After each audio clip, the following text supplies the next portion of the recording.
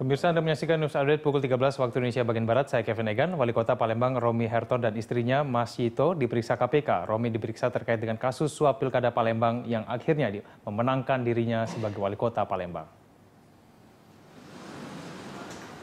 Ini adalah pemeriksaan pertama bagi Romi Herton dan istrinya setelah KPK menetapkan keduanya sebagai tersangka. Dalam kasus dugaan suap Pilkada Palembang, Romi Harton diduga memberi suap kepada Ketua MK saat itu, Akhil Mohtar, dengan uang senilai 19,8 miliar rupiah. Sementara istrinya diduga memberikan keterangan tidak benar dalam sidang Akhil Mohtar beberapa waktu yang lalu.